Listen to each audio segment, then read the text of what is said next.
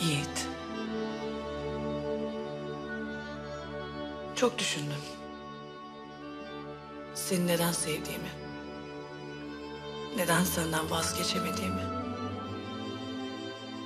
Bunca öfkeme, ettiğim bunca haksızlığa rağmen neden içimin denize ulaşmak isteyen bir su gibi sana doğru aktığını.